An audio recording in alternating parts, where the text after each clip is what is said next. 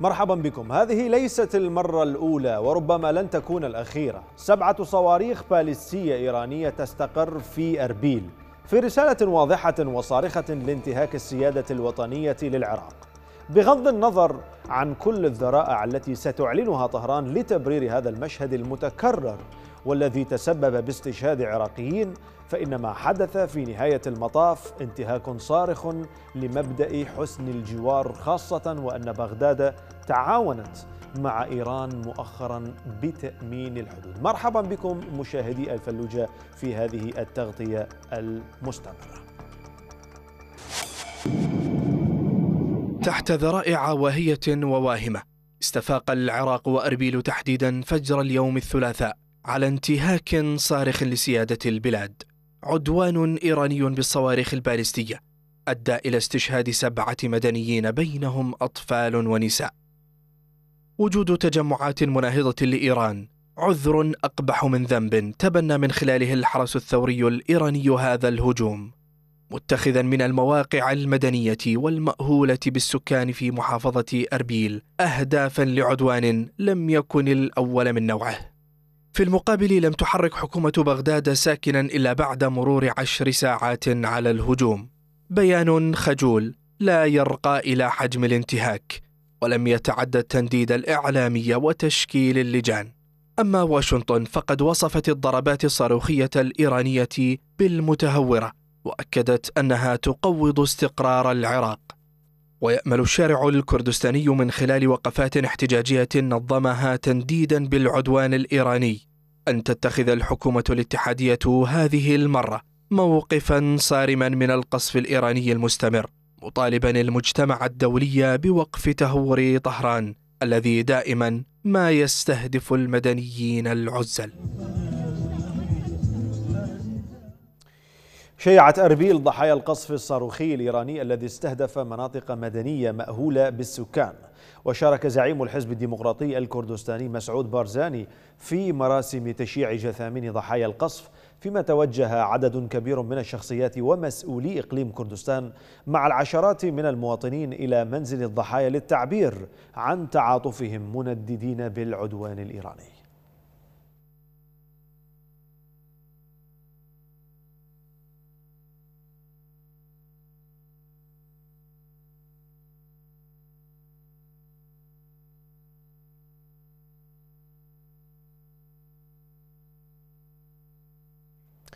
ينضم إلينا مشاهدينا الكرام من أربيل مراسلنا بشير الحسن. أهلا بك بشير. حدثنا عن أبرز التطورات الحالية بعد التصريحات الرسمية لقادة الإقليم. ما الجديد حتى الآن بشير؟ تفضل.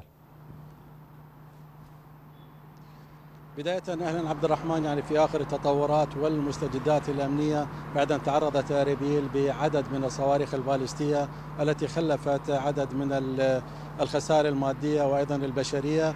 اليوم شيعت مدينة أربيل ضحايا هذا القصف آه، آه، الذي جرى يوم أمس بحضور يعني كبير مئات من المواطنين وأيضا بحضور شخصيات رسمية قيادية آه، هنا في إقليم كردستان يتراسهم زعيم الحزب الديمقراطي الكردستاني الرئيس مسعود البارزاني وسط إدانات وشجب كبير في هذا التشييع.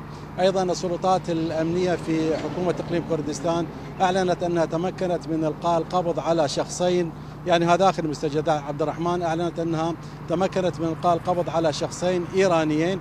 آه، أحدهما يعني كان متواجد بالقرب من آه، منزل رجل الأعمال بيشرو ديزي. آه، الذي آه، راح ضحية القصف الإيراني وأيضا تمكنت من القبض على شخص آخر داخل مدينة أربيل أيضا آخر التطورات كان هناك لقاء على هامش مؤتمر دافوز في آه، في دافوز مع بين الرئيس مسرور بارزاني رئيس حكومة إقليم كردستان وأيضا وأيضا وزير خارجية الأمريكي.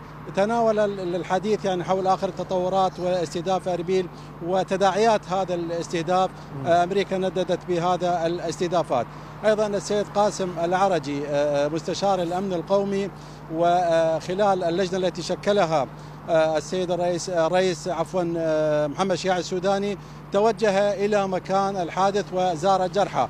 كان هناك يعني حقيقة لقاء مع السيد قاسم العرجي مستشار الامن القومي تحدث فيه عن تداعيات قصف أربيل وقال إن القصف الذي تعرضت له مدينة أربيل وبالتحديد المكان الذي المنزل الذي آه، تم آه، آه، ادعاء إيران بأنه مقر لواء الجماعات الإرهابية أو للموساد الإسرائيلي.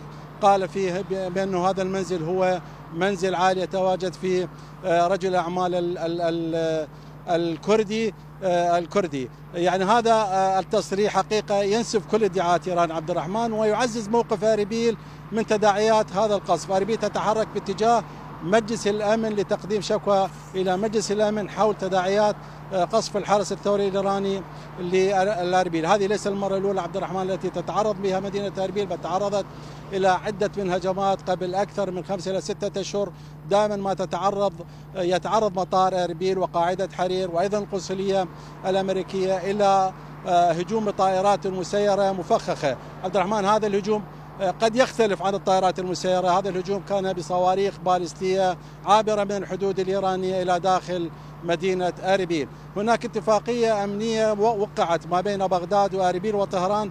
نصت هذه الاتفاقية على إخراج الأحزاب الإيرانية المعارضة المتواجدة في إقليم كردستان. وبالفعل تم تطبيق هذه الاتفاقية على أرض الواقع بسحب جميع العناصر الأحزاب الإيرانية المعارضة إلى مناطق بعيدة عن حدود إقليم كردستان وخصوصا المناطق المحاذية بالمحافظة السليمانية امتدادا إلى السلسلة الجبلية امتدادا إلى إلى طهران. آه، أيضا عبد الرحمن يعني هناك يعني البيانات والاستنكارات لا زالت متواصلة شعبيا وأيضا حكوميا. آه، يعني هذه البيانات وهذه الاستنكارات كلها أكدت على الشجب وأيضا ألقت اللوم ألقت اللوم على الحكومة الاتحادية بعدم التحرك بجدية سريعة لوقف هذه الاعتداءات الإيرانية. الحرس الثوري الإيراني صرح قبل قليل بأنهم آه، سيستمرون بقصف آه، آه، مدينه اربيل في حال لم يتم إخراج جميع العناصر التي تدعي إيران بأن عناصر إرهابية وعناصر تشكل خطر على إيران. عموما هناك يعني عبد الرحمن كانت هناك آه، آه، وقفة آه، احتجاجية كبيرة أمام ممثليه الامم المتحدة. يعني يعني اليوم بحضور مئات من المواطنين إقليم كردستان وأيضا بحضور شخصيات مهمة من إقليم كردستان. هذه الوقفة الاحتجاجية رفعت فيها شعارات تندد بالقصف المستمر على مدينة اربيل وهذا على ما يبدو بأنه لن يكون القصف الأول والأخير على مدينة اربيل بل إيران آه، والحرس الثوري آه، سيشن هجمات سواء بالطائرات المسيره أو بصواريخ بالستية. شكرا لك من أربيل بشير الحسن مراسلنا من هناك، ربما سنتزود من خلالك على المزيد من المعلومات. إن حصلت هنالك مستجدات، شكرا لك مرة أخرى.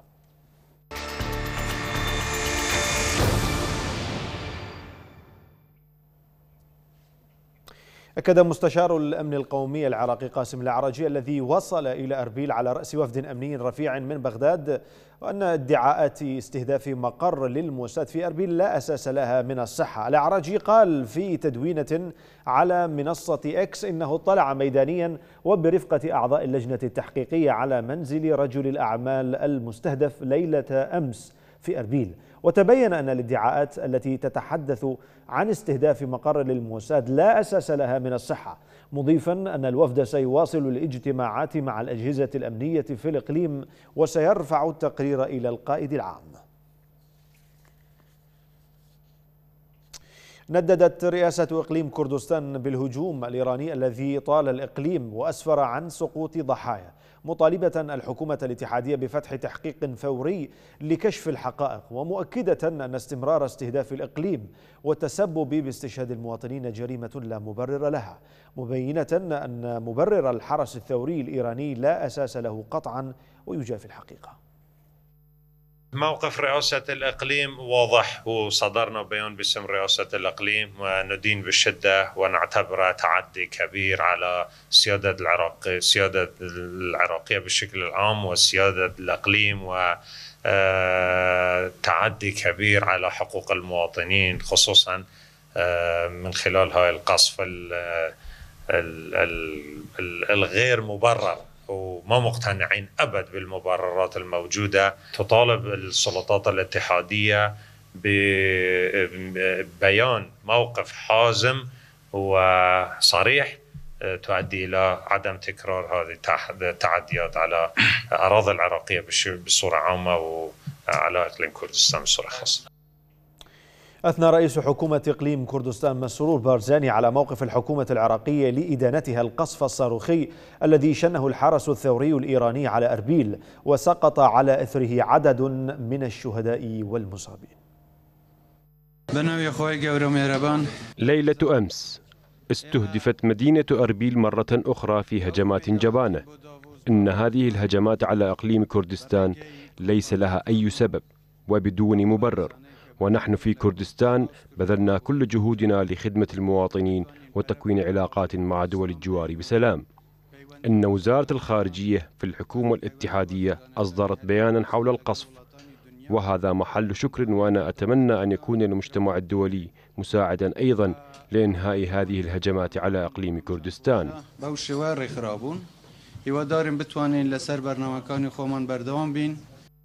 إلى ذلك أصدر زعيم الحزب الديمقراطي الكردستاني مسعود بارزاني بيانا شديد اللهجة ضد الهجمات الصاروخية التي شنها الحرس الثوري الإيراني مشيرا إلى أن هذا الهجوم ليس من المروءة ولا من الشهامة بشيء ولكنه عار كبير على المجرمين. جاء في البيان أن الجميع يعلم أن أربيل تعرضت منذ عام 2020 ولغاية الآن إلى عشرات الهجمات الصاروخية والطائرات المسيرة من قبل الحرس الثوري الإيراني والقوات المتحالفة معه. مردفا بالقول إن مرتكبي هذه الجرائم يعلمون جيدا أن افتراءاتهم وأعذارهم وادعاءاتهم ليس لها أي أساس وأنهم يقومون بهذا العدوان على أربيل للتغطية على مشاكلهم مضيفا أن لصبرنا حدود وأن استشهاد نسائنا وأطفالنا ليس محل فخر واعتزاز للمعتدين. حسب قوله. أكد مدير صحة أربيل دلوفان محمد سقوط أربعة شهداء وجرح ستة آخرين مشيرا إلى أن جميع الضحايا هم من عائلة واحدة. عدد الاستشهاد أربعة وعدد الجرحى ستة من هاي الستة هسه موجودين في مستشفى طوارئ الغرب. آه، قسم من عندهم حالاتهم مستقرة وأكو مريض بيهم جرح آه، بالعناية المركزة حالة ما مستقرة بعد بس يحتاج متابعة من الأطباء والكوادر الطبية. فان شاء الله يتحسنون وضعهم إن شاء الله. يعني يعني يعني إحنا ما بصراحة أطفال أبرياء تروح ضحايا. أكيد يعني هاي يعني هو المكان اللي قصف صار عليه.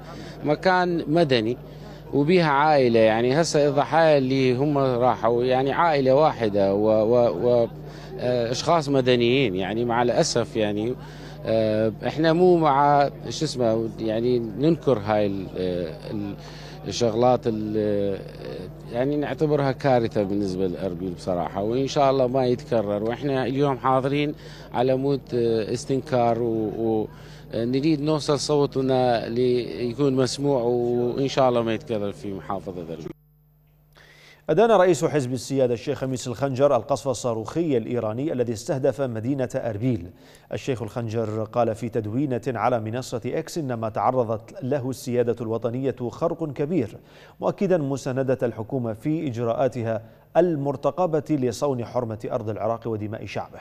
وأشار شيخ الخنجر إلى أن الأمة أمامها مهمة واحدة وعدو واحد وهو الكيان الصهيوني وماكنته الوحشية التي تقتل أطفال ونساء غزة بلا رحمة.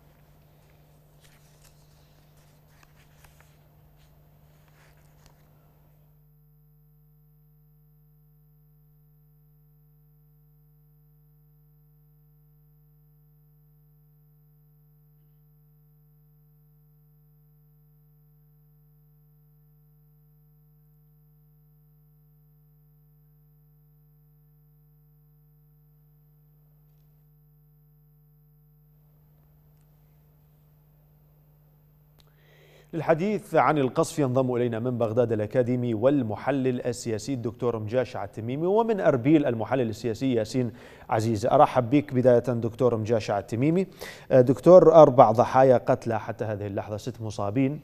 أه، تتراوح الإصابات ما بين خطيرة وبسيطة. موقف الحكومة أه، مندد حتى أن حكومة الإقليم قد شكرته بالوقوف معها.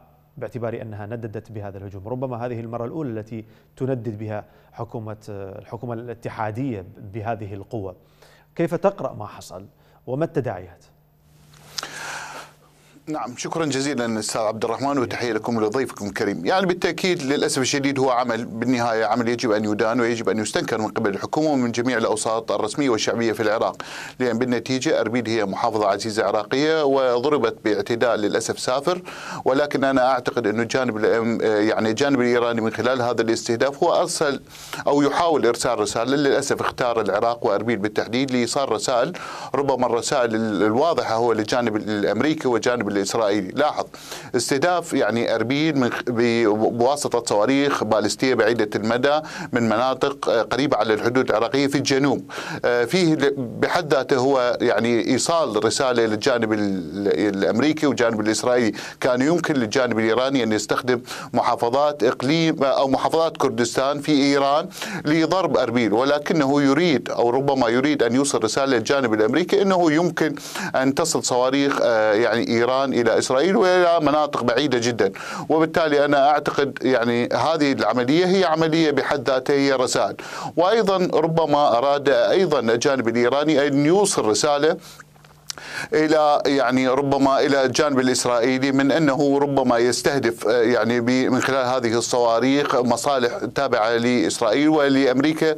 وأيضا يعني لاحظ أنه يمكن ل آه، يعني إيران أن تستخدم القواعد الموجودة في سوريا لضرب آه، مقرات لداعش لكن إيران أيضا استخدمت صواريخ باليستية بعيدة من جنوب إيران استهدفت فيها سوريا. وبالتالي أنا أعتقد أن العملية للأسف الشديد هي بحد ذاتها هي عملية لإيصال رسائل والعراق ليس مستهدفا فيها ولكن بالنتيجة هو أهينت السيادة العراقية وإيران اختارت للأسف الشديد العراق لأن العراق أنا أعتقد ربما هو الحلقة الأضعف الآن في المنطقة وبالتالي أنا أعتقد أن الحكومة العراقية أدركت هذا الموضوع. إضافة إلى أن هناك الكثير من الرسائل التي دائما ما تحاول إيران إيصالها إلى الجانب يعني الكردي وخصوصا الحزب الديمقراطي الكردستاني في قضايا متعلقة بالغاز وبالنفوذ الأمريكي والعلاقات القوية بين الحزب الديمقراطي الكردستاني والجانب الأمريكي لكن إيران أكبر عن هذه الرسائل. المبطنة التي تريد إيران إرسالها. لكن دعني أيضا أرحب بالمحلل السياسي ياسين عزيز. مرحبا بك أستاذ ياسين. هل ستتعامل أربيل برأيك مع إيران تتحدث معها بشكل مباشر؟ ما بعد هذا القصف الذي جاء عبر أكثر من مرة مرة عبر وكلاء يعني لا يخفون ارتباطهم مع إيران ومرة بشكل مباشر مثل ما حدث هذه المرة وقبلها أيضا حدث إثر قصف باليستي من نوع آه، آخر على منزل الشيخ آه، صاحب شركة آكار على ما أذكر. هل ستتعامل أربيل بصورة مباشرة مع إيران أم تترك الحديث للحكومة العراقية هي التي تتعامل مع بغداد باعتبار متمثلة بوزارة الخارجية العراقية؟ آه، مساء الخير أستاذ الرحمن تحياتي لكم وللدكتور مجاشع وللمشاهدين الكرام. يعني أربيل كانت في بصدد التعامل المباشر مع الجانب الإيراني. آه، آه، قبل أيام زار السيد فالح الفياض. أربيل والتقى بالسيد مسعود البارزاني ومن ثم زيارة رئيس الإقليم إلى بغداد ولقائه بشخصيات حكومية وحزبية. كلنا يدرك أن معظم هذه الشخصيات الحزبية خاصة مقربة من إيران. آه، كان هناك نية لدى الحزب الديمقراطي الكردستاني وكان هناك نوعا ما اتفاق أن يرسل الحزب الديمقراطي الكردستاني خلال الأيام القليلة القادمة وفدا رفيعا على مستوى المكتب السياسي. كان حسب المعلومات آه، سيترأسه إما السيد نشرفان البارزاني باعتباره النائب الأول لرئيس الحزب أو السيد فاضل ميراني باعتباره رئيس آه، الهيئة العاملة في المكتب السياسي. يعني وفد رفيع كان منتظر أن يزور إيران من قبل الحزب الديمقراطي الكردستاني الذي يتصدى لحكومة الإقليم. أنا أتصور أن الاعتداء الإيراني والهجوم الإيراني نوعا ما أفشل هذه الجهود أفشل جهود مقربين من إيران في بغداد لتقريب وجهات النظر ولتنقية العلاقات بين أربيل وطهران وأفشل جهود أيضا الحزب الديمقراطي الكردستاني الذي كان يريد تهدئة الأوضاع سواء مع إيران أو الأطراف السياسية الموجودة والمقربة من إيران في بغداد والذي توجت بزيارة السيد رئيس الإقليم ولقائه 17 نعم. لقاء كان معظمها كان مع من, من المفترض أن يزور هذا الوفد الرفيع الكردي إلى إيران. بغية تباحث حول ماذا برأيك؟ ولماذا أفشل يعني بهذه الطريقة؟ أيضا الرواية ليست محبوكة بالكامل يعني لا تبدو مقنعة جدا. يجب أن يسبقها الكثير من الحديث والترتيب وترطيب الأجواء على الأقل التزام شيء من الهدوء. لكننا على مدار ثلاثة أشهر تقريبا آه، يعني لا يكاد يمر شهر بدون قصف أو قصفين تجاه أربيل. يعني القصف الأخير كان كان مختلفا آه، أستاذ. يعني قبل القصف كان تأتي من الفصائل صحيح صحيح فصائل مقربة من إيران ولديها غطاء سياسي في العراق لكن تبقى فصائل مجهولة معظم الأسماء التي كانت تستخدم وأنا ذكرتها سابقا يمكن أن تكون أسماء وهمية. آه، لكن القصف المباشر من قبل الحرس الثوري والاعتراف الإيراني آه، الرسمي بالمسؤولية عن القصف هو الذي أربك المشهد وهو الذي فعلا سيفشل أي جهود في هذا الإطار م. آه، يعني الضغط الإيراني يبدو أنه مستمر غير مقتنع م. بالجهود التي تبذل لتنقية الأجواء بين الحزب الديمقراطي الكردستاني خاصة وبين الجانب الإيراني باعتبار أننا ندرك جيدا في إقليم كردستان أن إيران ترى في الحزب الديمقراطي الكردستاني في السيد البارزاني نوعا ما عقبة أمام تنفيذ المشروع الإيراني في خط ما كان يسمى بالهلال وسأعود أيضا مرة أخرى لأسألك عن مدى تمكن الإقليم من إجلاء يعني آه، أفراد الأحزاب المسلحين الذين يمتلكون أحزاب وهم موجودون في إربيل. إن كانت هذه الرواية الإيرانية صحيحة أم لا، لكن دعني أعود مرة أخرى إلى دكتور مجاشع، دكتور قبل قليل تحدثت عن رسائل، هل هناك رسائل غير قضية قصف مقرات للموساد وما يحدث حاليا في غزة والدفاع عن إلى آخره السردية الإيرانية المتبعة، أم قضية أخرى قبل قليل أشرت إلى قضية تتعلق بالإقتصاد والنفط والغاز إلى آخرها. يعني بالتأكيد الجمهورية الإسلامية تمر بظروف صعبة جدا وهي أعلنت أكثر من مرة منذ بدء عملية طوفان الأقصى أن اليد على الزناد وأنها سترد وستدعم آه، يعني المقاومة الإسلامية في غزة. ولكن بالتأكيد يعني إيران تمر بظروف صعبة نتيجة العقوبات نتيجة المقاطعة الدولية لها. وبالتالي أنا أعتقد أن إيران تعرضت إلى أكثر من هزة خلال السنوات القليلة الماضية إلى أكثر من استهداف ربما استهداف مخابراتي. آه، هناك عدد من الخبراء قد قتلوا و الموساد وربما جهات مخابراتية معادية لإيران آه، هو الغريب أن الكثير من علماء النووي الإيراني والعاملين في الملف النووي الإيراني يقتلون داخل إيران أحيانا على شكل ضربات بطائرات نعم مسيرة بشكل دراجات نارية. لكن الرد الإيراني يأتي عبر صواريخ نعم. باليستية في غير دولة أخرى. هنا نسأل أيضا عن موقف الحكومة العراقية. نعم هو حتى هذه اللحظة. لا تستطيع أن تفعل أي شيء.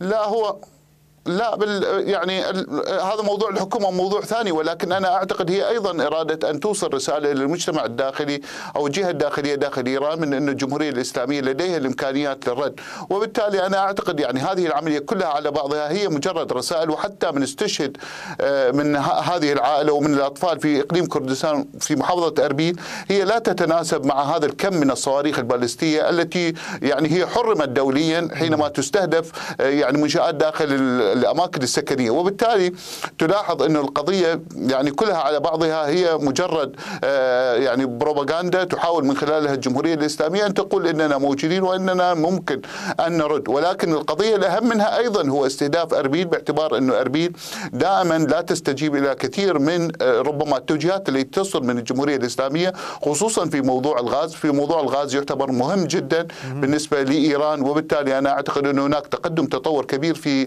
إنتاج إنتاج الغاز وربما إقليم كردستان خلال الفترة القليلة المقبلة سيصل إلى مرحلة الاكتفاء وهذا في حد ذاته إحراج كبير يعني للحكومة العراقية. إضافة إلى أن يعني آه، ما جاء يعني ما صدر من قبل الحكومة العراقية أنا أعتقد أعتقد هو قضية معقولة وهي آه، ربما ردة فعل حقيقية. يعني. الحكومة العراقية أحرجت بشكل كبير. أه حتى الجهود الحكومة أحرجت بشكل كبير لأنها قبل سنتين بأن ليس هنالك أي مقرات للموساد هي لا تعترف به إيران على ما يبدو أليس كذلك؟ يعني هو قبل سنتين حينما تم استهداف شركة كار أيضا مم. كان هناك تحقيق والسيد قاسم العرجي أعلن بشكل صريح أن القضية هي لا يمكن أن يعني تقدم على أنها استهداف لأن لا يوجد هناك مقرات للموساد داخل إقليم كردستان وفي محافظة أربيل إضافة إلى أن هناك إيران كانت تشكو من الجماعات المسلحة الكردستانية الإيرانية الموجودة على الحدود وبالتالي شكلت لجنة واللجنة تمت بتوافق وبين العراق وبين إيران وتم إبعاد جميع هذه الفصائل المسلحة المقربة أو القريبة على الحدود الإيرانية وهي معارضة لإيران وحلت القضية حتى قبل أيام. صدر بيان أنه تم حل هذه الإشكالية لكن المفاجأة جاءت يوم أمس وأنا أعتقد حتى التبريرات لوزارة الخارجية الإيرانية. لأن أستاذ عبد الرحمن إذا راجعت البيان الذي صدر من وزارة الخارجية الإيرانية هو مختلف تماما آه، ربما عن الحدة والقوة التي صدرت من آه، الحرس الثوري الإيراني. بمعنى أنه لا يوجد توافق حتى داخل المؤسسة الإيرانية حول آه، يعني استهداف آه، إقليم كردستان والعراق بهذا الاستهداف الخطير. لهذا أنا أعتقد كما قلت أنه ربما يكون للموقف العراقي وهذه المرة الموقف العراقي الحازم. كان هناك إدانة واستنكار للقصف الذي جرى قبل سنتين ولكن هذه المرة آه، يعني تقديم شكوى من العراق إلى مجلس الأمن الدولي هذه كلها ربما تحد أو ربما تغير الكثير من القرارات التي ستصدر مستقبلا حينما تقوم إيران باستهداف العراق مرة أخرى. لأن إيران يعني قبل أيام أعلنت أن تنظيم داعش هو من قام باستهداف يعني عمليات إرهابية في كرمان وكنا نتوقع أن الضربة ستكون موجهة إلى ربما إلى أفغانستان إلى تنظيمات إرهابية. ولكن آه، تحاشت إيران ضرب أفغانستان باعتبار أن طالبان لديها أيضا آه، قوة يمكن أن ترد داخل الداخل الإيراني. لهذا استهدفت هذه المرة أربيل للمرة الثانية وهذا مؤسف جدا. ما الذي سوف تنتظره أربيل أستاذ ياسين من الحكومة العراقية برأيك سيما وأنها لا تستطيع على ما يبدو فعل الكثير من الأشياء غير الإدانة. رغم ذلك لا بأس بذلك قال السيد مسرور بارزاني أثنى على موقف الحكومة العراقية بإدانة القصف. لكن أربيل ما الذي تنتظره؟ سيما وأن جهودها قبل قليل قلت أنها قد عرقلت عبر ذهاب الوفد إلى إيران. يعني باعتبار أن الإقليم جزء من العراق الاتحادي يعني المسؤولية تقع على الحكومة الاتحادية. آه، آه، حكومة الإقليم أو القيادة الكردية لا تستطيع بمفردها أن تتعامل مع منظمات دولية أن تقدم شكاوي آه، أن تمارس ضغوطا دولية خاصة. أن تمارس ضغوطا اقتصادية وعدم الاستيراد على أو عدم السماح بدخول الواردات الإيرانية الكبيرة اقتصاديا من إيران. كذلك لا, لا يستطيع ذلك فعله أربيل. يعني أربيل كما قلت تريد الآن تهدئة يعني الأجواء مع الجانب الإيراني. تعرف جيدا تأثير إيران على الفصائل التي تستهدف أربيل وأمن أربيل واقتصاد أربيل.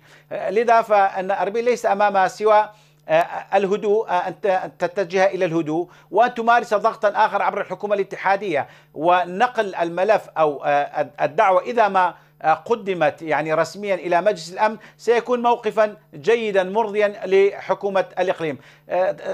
نعرف جيدا في هذه المرحلة أن وضع حكومة الإقليم في معظم الأمور غير مؤهل أو غير جيد باعتبار أن لديه آه، مشاكل. حكومة الإقليم لديها مشاكل كثيرة لم تعل لم تحل ولا تزال معلقة مع الحكومة الاتحادية. ورأينا الوفود الكردية أكثر من 60 وفد كردي يتوجه 60 آه، مرة وفود حكومية كردية تتوجه إلى بغداد للقاء المسؤولين الاتحاديين من أجل معالجة المشاكل المادية وموضوع النفط والغاز وبقية المشاكل الكثيرة العالقة بين الطرفين. فلذا اربيل يعني فيها ما يكفيها من من مشاكل وأن تقحم نفسها في هذه الأمور، لذا فكل الضغط وكل التوجه الآن من حكومة إقليم كردستان والقيادة الكردية باتجاه الحكومة الاتحادية خاصه وأن أربيل لم تعد قوية كما كانت في السابق في الموضوع الدبلوماسي، في السابق كانت لديها علاقات متميزة مع الولايات المتحدة وكانت تعتمد على هذه العلاقات المتميزة،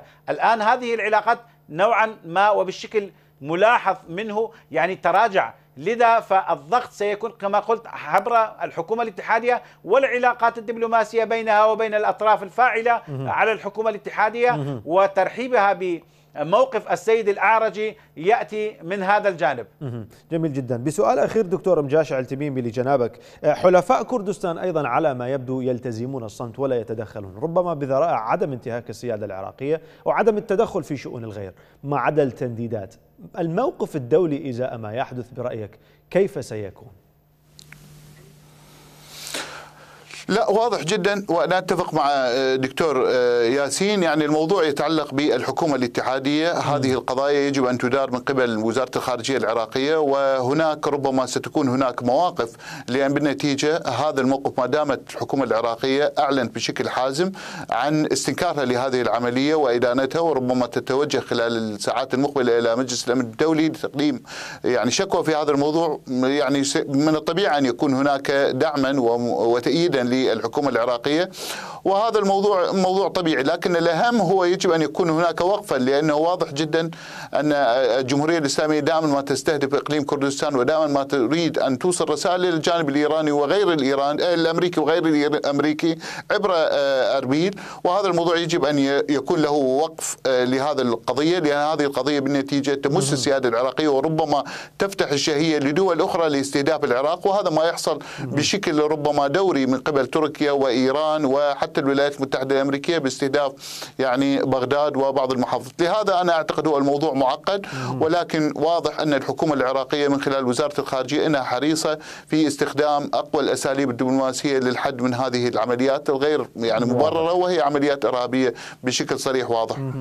أشكرك جزيل الشكر دكتور مجاشع التميمي الأكاديمي والمحلل السياسي. أرحب مرة هذه المرة بالدكتور عدنان السراج رئيس المركز الإعلامي للدراسات الاستراتيجية على ما أذكر. ربما سينضم إلينا مرة أخرى لكن أعود دعوني إلى أستاذ ياسين عزيز آه، يعني هناك لابد من أن تكون محددات لإيقاف هذه العمليات سيما وأن آه، آه، مصادر تتحدث عن أن الحرس الثوري الإيراني أو مسؤولين إيرانيين يتوعدون بالمزيد من هذه الهجمات.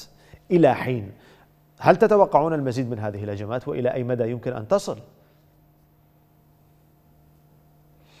أستاذ عبد الرحمن هذا الموضوع يحتاج إلى إلى إلى عودة نوعا ما تاريخية، علاقات الأحزاب الكردية مع الجانب الإيراني منذ وحتى قبل 2003 آه، آه، كانت علاقات مع الحرس الثوري الإيراني. الأحزاب الكردية مجتمعة كانت تتعامل عبر مؤسسات الحرس الثوري الإيراني. آه، من خلال الحرس الثوري الإيراني تتعامل مع الحكومة الإيرانية. لذا فالتعامل يعني ليس بشيء جديد من قبل الأحزاب لا سيما الحزب الديمقراطي الكردستاني الذي هو أقدم الأحزاب الكردية تعاملا مع الجانب الإيراني والحرس الثوري الإيراني وعلاقاته كانت في السابق جيدة مع هذه المؤسسة العسكرية المهمة في إيران. أنا أتصور أن الجهود الآن تنصب آه، وتفكر القيادة الكردية تحديدا أعود وأقول الحزب الديمقراطي الكردستاني في التعامل والاستفادة من العلاقات التاريخية لا سيما للسيد نيتشيرفان البارزاني التي الذي لا تزال علاقاته نوعا ما آه، جيدة أكثر مما من بقية القيادات في الحزب الديمقراطي. أنا أتصور أن الجانب الدبلوماسي أو الجانب السياسي سيكون سيد الموقف في التفاهم. آه، أربيل تدرك جيدا الحزب الديمقراطي الكردستاني يدرك جيدا أن حل مشاكلها مع الجانب الإيراني يجب أن يكون وجها لوجه دون المرور بفاعلين مؤثرين في بغداد. هم أيضا حلفاء لإيران. يمكن أن يكون الهجوم الأخير دليل واضح بأن العلاقات أو التنقية في الأجواء أو التوترات يجب أن تزال بشكل مباشر بين الحزب الديمقراطي الكردستاني والسلطات الإيرانية وتحديدا كما قلت آه، الحرس الثوري وقيادة الحرس الثوري الإيراني باعتبار أن هناك شخصيات داخل الحرس الثوري وهل... الإيراني مسؤولة عن ملف التعامل مع إقليم كردستان. إذا هناك انقسام حتى في داخل إيران آه، باعتبار أنه لا يوجد اتفاق على الاستهداف المباشر آه، لأصدقاء الولايات المتحدة أو لخصوم إيران بشكل أو بآخر، لكن التوقيت الإيراني على ما يبدو كان مثاليا، يعني آه، كردستان يمر حاليا بضائقة مالية، بضائقة اقتصادية، من جانب آخر هنالك حتى تظاهرات بسبب ما حصل من أزمة الخبز والأفران. هل تتوقع أن اختيار إيران لهذا التوقيت لم يكن اعتباطيا؟ يعني لنوع لإحداث نوع يعني من المشاكل كما قلت في الداخل الكردي صحيح التوقيت كان مناسبا ووضع كما قلت حكومة الإقليم وضع غير جيد لكن بتصوري أن الاستهداف الإيراني يمكن للقيادة الكردية أن تستثمرها بشكل جيد داخليا وخارجيا. أنا سمعت اليوم تصريحات من كافة الأحزاب الكردية خاصة الحزبين الرئيسيين كلها تدعو إلى توحيد المواقف إلى التقارب. آه، هذا الهجوم يمكن أن يؤدي إلى هذا التقارب الذي كان نوعا ما صعبا في مرحلة سابقة. أيضا آه، كما قلت عودة الدفء إلى العلاقات بين القيادة الكردية وحكومة الإقليم مع أطراف دولية مؤثرة مثل الولايات المتحدة. واضح. أنا أتصور أن هذه هي فرصة أيضا ذهبية للقيادة الكردية للعمل على هذا الموضوع. طيب دعني أرحب بدكتور عدنان السراج رئيس المركز العراقي للتنمية الإعلامية من بغداد. مرحبا بك دكتور عدنان. دكتور آه، على ما يبدو إيران يعني رأيت ما حدث لكنها أيضا حسب تصريحات آه، من داخل إيران تقول أنها سوف تستمر بقصف مقار ما تصفها بالموساد أو أصدقاء إسرائيل إلى آخره من أوصاف. ما السبيل عراقيا لإيقاف عمليات انتهاك السيادة اقليميا ودوليا؟ نعم بسم الله الرحمن الرحيم. تحية لك ولضيفك العزيز ومشاهديك الكرام. آه، في الحقيقة نحن الآن نعيش لعبة الكبار. في العراق مع الأسف الشديد لن تعي القوى السياسية بأن المنطقة تعيش لعبة الكبار وهذه لعبة الكبار تقودها الولايات المتحدة الأمريكية في حربها على روسيا في مضايقتها للصين في دفاعها عن إسرائيل وتدخل إيران كدول إقليمية قوية منافسة لبعض المشاريع التي تتبناها الولايات المتحدة الأمريكية. العراق وضحية لهذه الصراعات. هذه الصراعات الكبار تحتاج إلى أكبر إمكانية من الساسة العراقيين بأكبر قدر من الحكمة وضبط الأمور الداخلية والاتفاق على العديد من المواقف السياسية حتى لا تقدم القوى الإقليمية كإيران وتركيا وبقية الدول على الاعتداء على سياسة العراق دون رادع أو دون تفكير بأن هذه الدولة بمجموعها سوف تقوم بعمل آه، كبير أو بعمل احتجاجي أو بعمل سياسي أو بعمل دبلوماسي. السياسي ضد هذه الدولة في حالة اعتداء أو التفكير في الاعتداء على الأراضي العراقية كما حصل في الاعتداء الإيراني الأخير أتصور اليوم عندما أتطرق إلى هذه المسألة لدي العديد من الأدلة على ذلك. اليوم نحن آه، نطالب بقضية مهمة. هناك عمليات قصف آه، غير مبررة للأماكن في أربيل يهدد فيها المواطن العراقي الكردي آه، بحياته بمعيشته. الأتراك يقصفون الإيرانيين يقصفون القوى الأخرى تقصف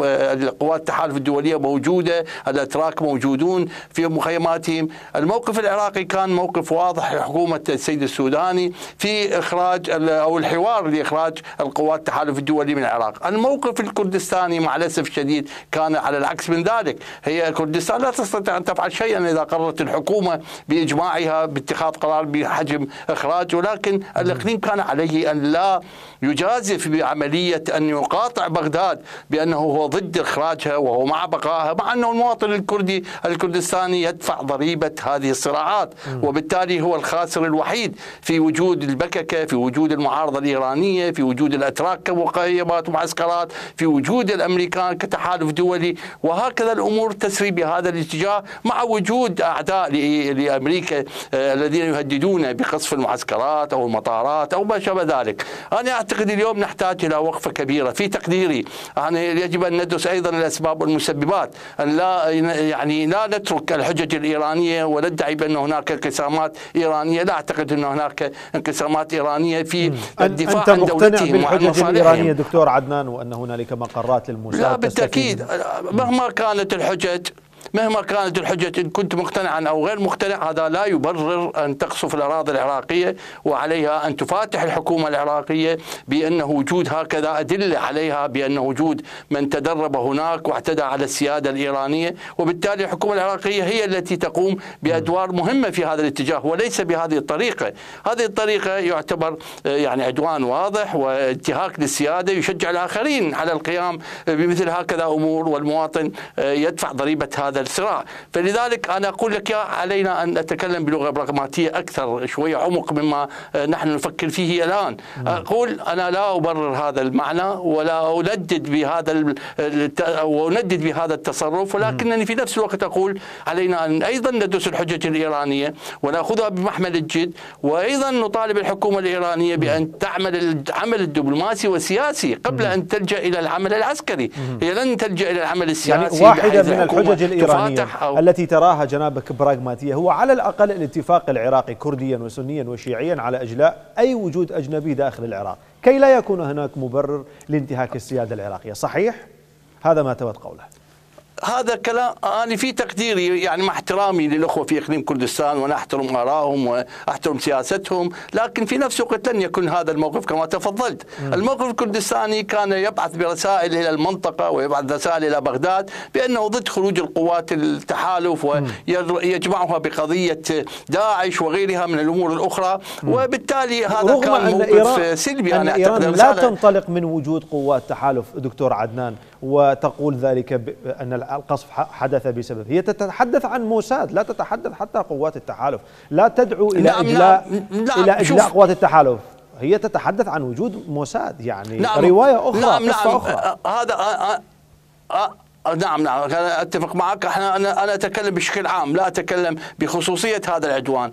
هذا العدوان إذا أردنا أن نوقف أمام خصوصياته فالادعاءات الإيرانية بأن ما حدث في كرمان وإحنا طبعا الحكومة العراقية والإقليم وكل دول العالم انتقدت أو نددت بالعمل الإرهابي في كرمان الإيرانية التي راح فيها أكثر من 200 بين آه، قتيل وجريح. وهذا طبعا كان مندد به. وبالتالي أعلنت داعش عن مسؤوليتها لكن الحكومة الإيرانية تدعي بأن أن التحقيقات وصلت إلى طريق آخر غير الطريق الذي أعلن عنه. وبالتالي أنا أعتقد هذا الأمر الادعاء الإيراني أنا قلت لك هذا لا يبرر أنه تقوم بالقصف ولكن كان على الحكومة الإيرانية أن تفتح تحقيقا في هذا المجال. وأيضا أنا أقول على حكومة إقليم كردستان تكرر هذا العمل يعني تكرر هذه الادعاءات الإيرانية على وجود موساد ووجود عناصر أخرى. وأنا أقول لك بصراحة لا يزعل مني ضيفي وهم أخواننا وهذه أرضنا بلادنا وكل ما يصيبها من يعني اعتداء يعتبر اعتداء علينا هذا واضح. لكن أقول إقليم كردستان منتهك منتهك بشكل كامل.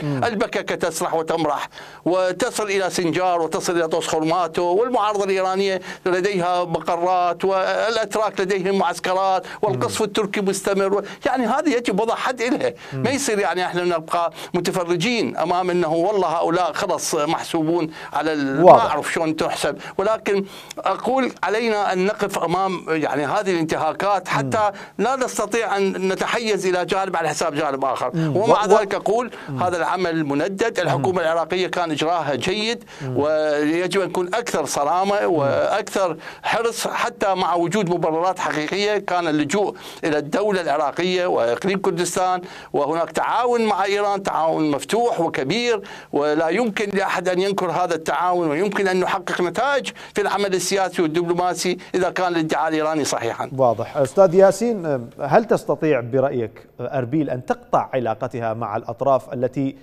تكون غالبا ما تكون آه، يعني مدعاة للشك؟ نتحدث عن بككة نتحدث عن قوات كردية معارضة.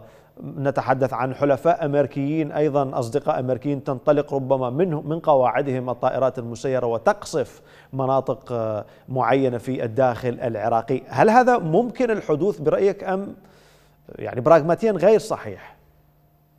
باختصار لو سمحت. آه، أستاذ عدنان أول شيء يعني آه، أستاذ عبد الرحمن عفو مع تقديري للدكتور عدنان يعني أول شيء ليس الإقليم منتهك، العراق كله منتهك، مسؤولين من خارج العراق يأتون إلى بغداد وإلى النجف يجتمعون مع قيادات سياسية أمنية ويوجهون التوجيهات ويتدخلون في موضوعات تعيينات أمنية استخبارية حساسة في العراق. فهذا الانتهاك لا يقارن بالانتهاك الموجود فيه. حكومة يعني بككا حكومة الإقليم خاصة الحزب الديمقراطي ليس لديه علاقات وإنما لي هم ليس ليسوا على وئام. هناك اتفاقية أكثر من ثلاث سنوات مضت على اتفاقية موقعة بين حكومة الإقليم والحكومة الاتحادية في موضوع سنجار. أطراف ذات غطاء سياسي أطراف مسلحة في بغداد متنفذة تمنع تنفيذ هذه الاتفاقية. وبأجندة إقليمية تستفيد من تواجد حزب العمال الكردستاني لتزعج الأتراك.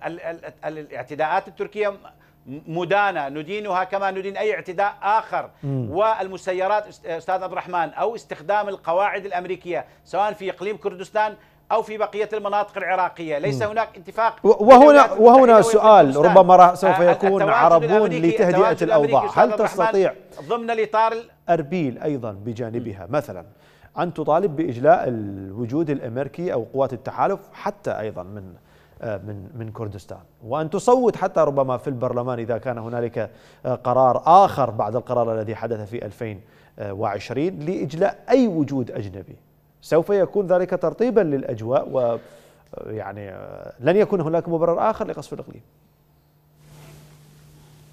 أستاذ عبد الرحمن خلينا نكون صريحين. مم. الإقليم القيادة الكردية ليس لها ثقة بالفاعل السياسي الموجود في بغداد. يعرف جيدا أن الفاعل السياسي في بغداد يستغل أي أي نقطة وأي فرصة لاستغلال أو ابتزاز الإقليم. لذا فعدم وجود هذه الثقة وأزمة الثقة الموجودة إذا ما تم إجلاء القوات الأمريكية ولا الحكومة الاتحادية تستطيع ذلك ولا الأطراف السياسية. خلينا نكون واقعيين يعني الولايات المتحدة ليست بهذا الضعف والانكسار أو أو هذا هذا الوضع الحرج التي ممكن لحكومة اتحادية آه، تسيطر عليه أطراف سياسية. الكل يدرك أنها مقربة من من دولة إقليمية وهي إيران. ولن تس أنا سمعت من مساعدة وزير الخارجية الأمريكي في ملتقى في أربيل قبل شهرين شهر عشرة أتذكر. بالضبط شهر عشرة. قالت أن إخراج الولايات المتحدة في العراق أو المنطقة من يفكرون بهذا الأمر فهم واهمون وعاجزون. يعني الولايات المتحدة أقوى من أن تجبرها مجموعات سياسية أو حتى حكومات في وضع لا يستطيع الحكومة الاتحادية ضبط الفصائل ولا تستطيع رد القوات الأمريكية فيما تقوم بعمليات عسكرية. فكيف فالإقليم الذي هو جزء؟ وكما قلت وضع الآن غير جيد. يعني أتصور أن هذا المطلب من الإقليم وهذا المطلب من القيادة الكردية مطلب غير واقعي وفي توقيت سيء جدا. أه يعني بكلمة أخيرة ربما دكتور عدنان السراج. أيضا هنالك مطالب كما يقول أستاذ ياسين يعني غير منطقية سيما وانك تطالب أن نأخذ الأمور بعقلانية، أيضا يطلب من الأقليم أن يتخلى عن جميع حلفائه، لا نتحدث عن جهات معارضة وتتسبب ب آه، يعني آه، تتسبب بضرر بالمصالح الإيرانية، لا نتحدث عن أصدقاء الكرد مثلا التحالف الدولي، هنالك من يطالبهم بعد كل قصف بالتخلي عنهم، طيب لماذا لا تتخلى أيضا بغداد؟ من عن التحالف الدولي هي أيضا، لا أحد يستطيع فعل ذلك، هذا التناقض كيف تنظر إليه وما السبيل لحله؟ هذا سؤال يعني يلامس شغف الحقيقة. أنا مع جل احترامي لصديقي وأخي العزيز. لكن هذا الكلام اللي تفضل به هو كلام يعني لا يمت إلى العراق بصلة. الإقليم جزء من العراق. الإقليم لا ينفرد بقراراته. يجب أن يكون الإقليم في التحديات الأمنية والتحديات السياسية منسجما مع بغداد. هو جزء من العراق هو جزء من السيادة العراقية والدستور العراقي يحدد السيادة في بغداد. وهناك وزراء حتى وزير خارجيتنا هو من الكرد. وبالتالي أعتقد اليوم المسألة لا تتعلق بابتزاز الإقليم. ماذا لماذا تبتز بغداد إقليم؟ بغداد تتخوف أن لا ينفرد الإقليم في قرارات ويبتعد عن بغداد ويصبح في حالة الدولة داخل دولة. هذا الذي يخوف بغداد ويخوف القوى السياسية في بغداد من الإقليم. يعني عندما نكون أنا أسمع لأكثر من مسؤول أمريكي وأعتقد الدكتور أيضا يسمعه كثيرا وقبل يومين. المناطق الرسمي في الحكومة يقول لدينا أصدقاء في إقليم كردستان لديهم وجهات نظر تختلف عن بغداد، هذا يعني إن هناك حالة من استغلال المواقف الكردية ضد بغداد، وهذا يضعف بغداد ويضعف الإقليم، اليوم عندما يستغل تستغل العوامل الخارجية الخلافات بين الإقليم وبغداد وتدخل على الخط بعناوين سفيرة بعناوين قوات تحالف، بالتالي يستخدمون هذه الورقة للضغط على اضعاف بغداد، الإقليم عليه أن يتمسك ببغداد، بغداد عاصمتهم، وبالتالي عليهم أن يكونوا ضمن سياسة بغداد في التحديات. عندما اتحدنا ضد داعش حققنا انتصارات وبالتالي علينا أيضا أن نتحد ضد أي نعم. خطر يهدد سلامة الإقليم اللي هو جزء من سلامة العراق. أشكرك جزيل الشكر دكتور عدنان السراج رئيس المركز العراقي للتنمية الإعلامية. شكر أيضا إلى المحلل السياسي من أربيل أستاذ ياسين عزيز. الشكر موصول إليكم أيضا مشاهدينا الكرام إلى اللقاء.